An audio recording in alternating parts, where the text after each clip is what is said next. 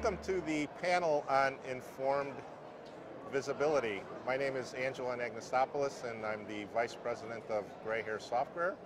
And Judy? Hi, my name is Judy Kalus. I'm a product specialist with Pitney Bowes. Uh, we're going to talk a little bit about informed visibility, some of the things that uh, are coming up that are new. We're going to talk about some concerns.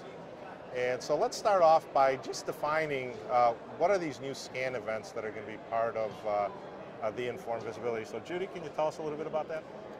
Absolutely. So we're very excited about uh, the amount of data that we'll be gaining through the new Informed Visibility Program and uh, some new definitions uh, that uh, we'll be hearing about and that you've heard about at the forum are assumed and logical scan events. So today we're um, informed, or IMB tracing subscribers get um, piece level data based off of actual scan events. We're adding uh, two additional types of, um, of information to the uh, uh, data that's available. So assumed scans are going to occur when um, a container or a tray is scanned and there are obviously additional uh, pieces uh, that are um, associated with that scan and so the assumption is that if the tray was scanned that the pieces are in the system as well. The logical events are going to be more um, based on what happens next, the, the logical next event. So for instance, uh, piece scans that occur in an SCF um, uh, into the carrier's tray, the next logical event is that they're placed onto um, a truck and that they're being uh, delivered locally into the neighborhood. And so um, one of the uh, most exciting uh, logical scan events is geofencing. And Angelo could tell us a little bit more about that. Sure. I mean, geofencing is a pretty uh, interesting topic. And what it means is that the Postal Service took the database that they have of every address in the country and they drew an invisible fence with latitude and longitude coordinates around every house. And in the case of where there are cluster boxes or curb delivery and that, they've geofenced around those areas. The idea being is, is they, as they use their new scanning technology and as they're going down the street delivering mail, there are breadcrumbs of the latitude and longitude coordinates transmitted in real time to the Postal Service headquarters servers every minute. And so they're capturing that information. So now, what can you do with that?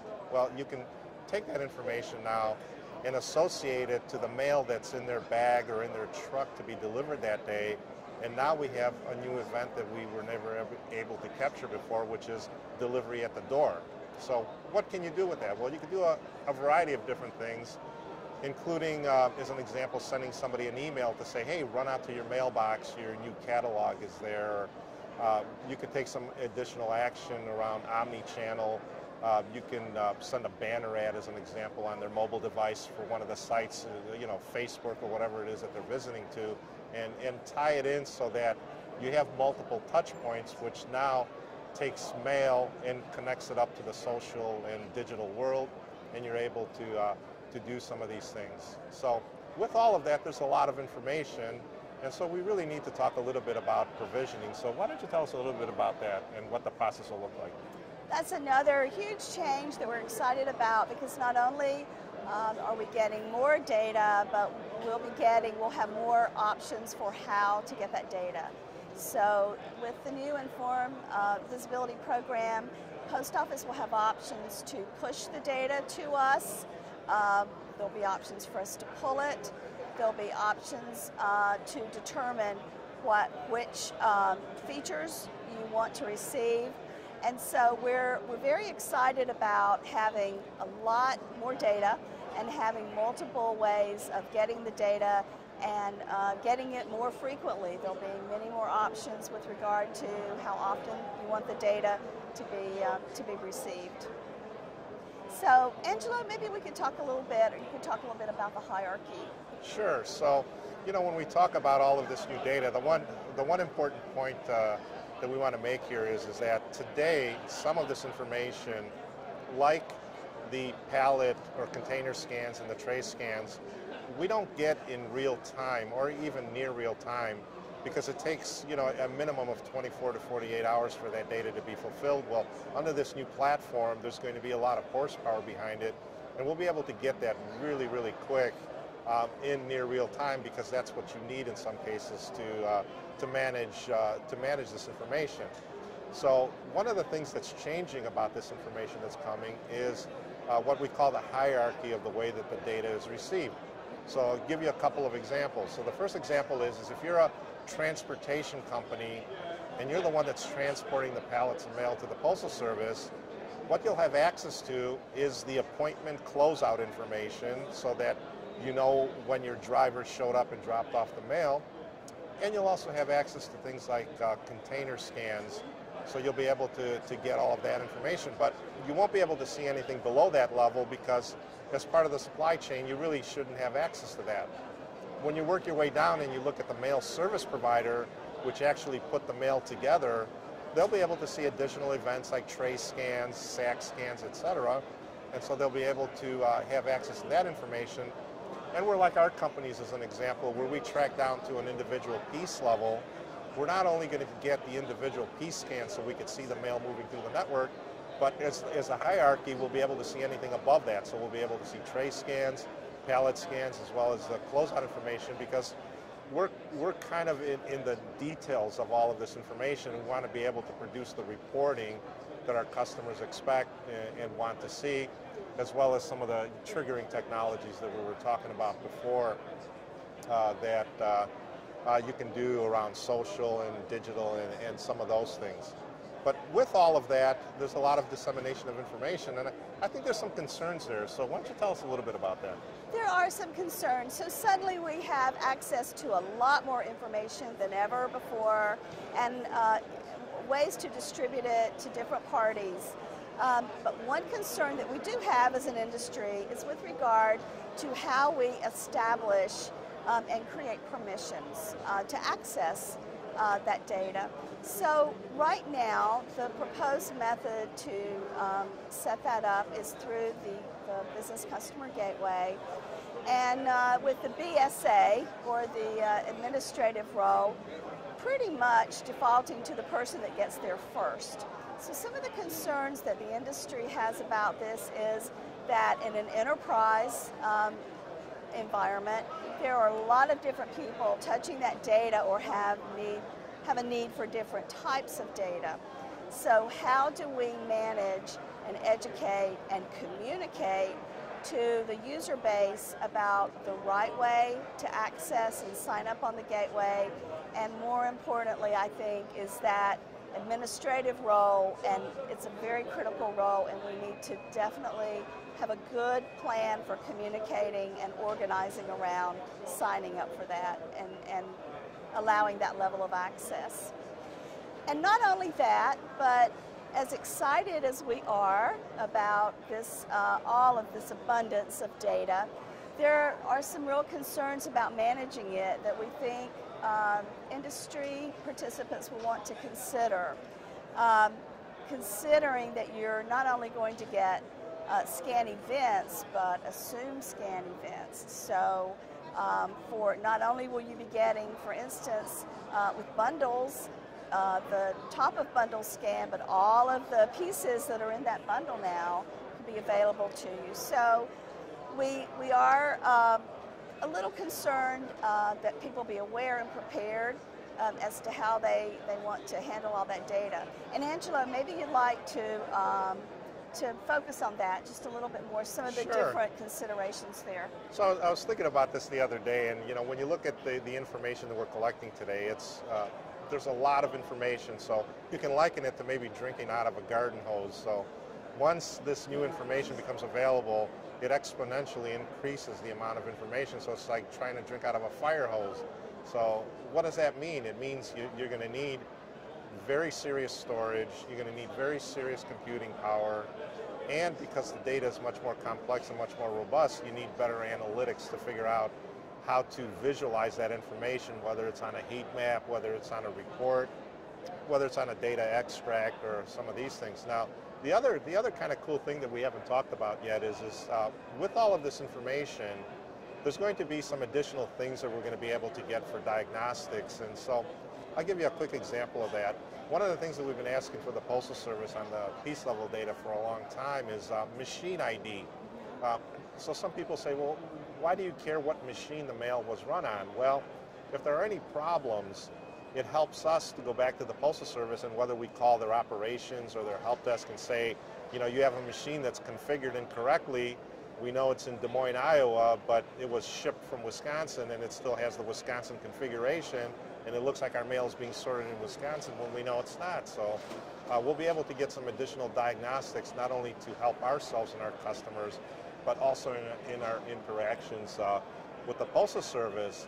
So really bottom line is, is this stuff is going to be in a state of flux as new pieces of information become available. And maybe talk a little bit about that. You know, what is, what is that going to do to the industry? So um, I think uh, the industry definitely will want to consider um, things like, um, you know, what capacity do I have to archive the data that's being delivered to me? Because having this additional, these additional elements, if you will, could be associated to uh, a critical piece of first-class mail that at some point you need to go back and prove that you placed into the mail stream. And so having, for instance, the machine ID available would give you one more additional um, element to tie that back to the legitimacy of, of the post office having custody of that mail and having processed it through their system. So that says that the mailer has met their requirement to yep. place the mail into the mail stream. So should, should, we talk a little bit about what these people, uh, some of these customers of ours dread out there, which are the scorecards and how this data can, can help build a defense for them? Abs well, absolutely, because uh, that's uh, a huge concern. I know it's a concern for us, um, and that's a moving target. And when you talk about a program in flux, definitely the scenario with the scorecard would, would fit that description. Yeah, so just uh, for those wondering what, what we're talking about, uh, the Postal Service is going to be putting out uh, scorecards. They've been out for a while, but uh, they're going to go live in the July timeframe with one of the scorecards and there's others to come. And within those, there are tolerances that if you exceed, there's going to be uh, assessments involved. So one of the things that our customers have been asking us for is all of this data out of informed visibility, as well as external information that we collect from logistics providers, from the mail service providers, et cetera, that uh, we put that in escrow, especially when you look at things like undocumented pieces, which, I don't know, it's like a four-letter word nowadays, but um, so we look at this information because one of the things that'll happen is, is let's say one of our customers exceeds their scorecard, they're going to want to be able to do queries into our systems right. to be able to look at this stuff and say, well, you know, uh, did uh, my service provider really have a problem or is this a data issue? Because one of the things that we run into uh, uh periodically is the postal service systems might go down, they'll be down for a period of time when the systems come back up, they have us resubmit the electronic data, but not always does that information get backfilled. But the nice thing is, is we're collecting this stuff in real time, and so we have kind of that escrowed information. And so I think you know that'll be good, and we'll we'll be able to help our customers with some of that stuff. Do you agree? Absolutely. So when you're talking about scorecards, you're also talking about potential penalties, fines, uh, thresholds that, that are not supposed to be exceeded. So this is your audit trail, if you will, mm-hmm. and we're very happy to have a lot more information to support um, and, and analyze the trip that um, our mail took through the Postal Service. But we, we feel like there's a lot of considerations and a very aggressive timeline uh, on the part of the Post Office to get this rolled out.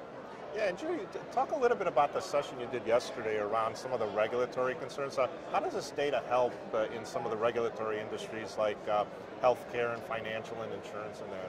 Oh, it's tremendous. So healthcare, financial, um, and, um, and property and casualty um, insurance in particular are very concerned about custody of mail and being able to prove that they placed their mail into the mail stream at, to meet the regulatory uh, notification time.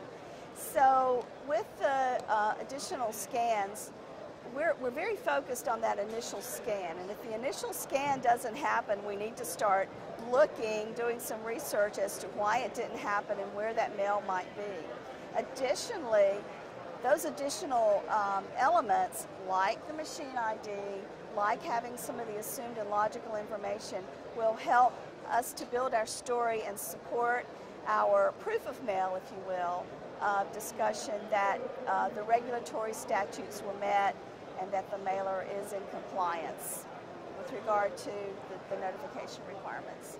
So we certainly welcome this and we welcome all the additional options that we're, uh, we're looking to, to get out of the new program. Uh, and lastly, one of the one of the last things we wanted to talk about is around what's called in-home date management. Right. And really what you have is you have retail customers as an example that might want the flyer to hit in-home by a specific date because it might be tied to a weekend sale. And as the Postal Service further consolidates uh, their operations and as they're changing the way that uh, mail is sorted and mail is transported and delivered and stuff, it becomes a little bit more of a challenge because there's a lot more variability into the way that mail is moving through their system. And so how can we use some of this data to, to help them predict some of that?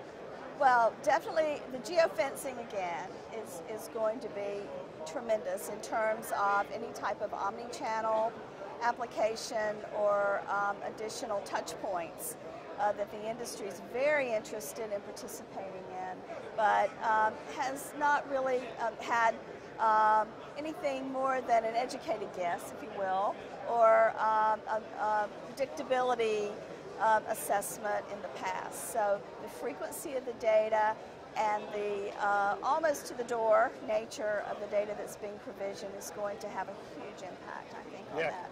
Yeah, because one of the things I was thinking about is, is let's say that they're sending out a flyer for a weekend sale. Right. There's a snowstorm and mail is just stuck at a facility we would know that. We could pass information, they could send an email or maybe like an e uh, type of a flyer to uh, their customers, and we can even help them. I mean, they don't even need to know their email address. You know, through our through partnerships and that, we can we can provide that information. I mean, you can even send them text messages. I don't I don't know that you want to do that, but uh, you're able to do a lot of things. So. Really, bottom line is, is this information, as it evolves, becomes much, much more powerful and it's much better integrated, especially when you're dealing with millennials and some people that want to consume some of this information uh, in a variety of different ways. And as we all know, you know, the more touch points you have, the the better it is, and the more likely that your message is uh, is coming across. Um, any any closing thoughts? No, I mean all of that is rolls up to uh, a lot of anticipation for the new Informed Visibility program uh, a lot of uh, concern about the timelines, uh, the educational component, getting the communication out to the industry, uh, fine tuning uh, and maybe better defining the access, and um, definitely on the back end, getting uh, our, as industry, our systems upgraded and ready to handle all of that data.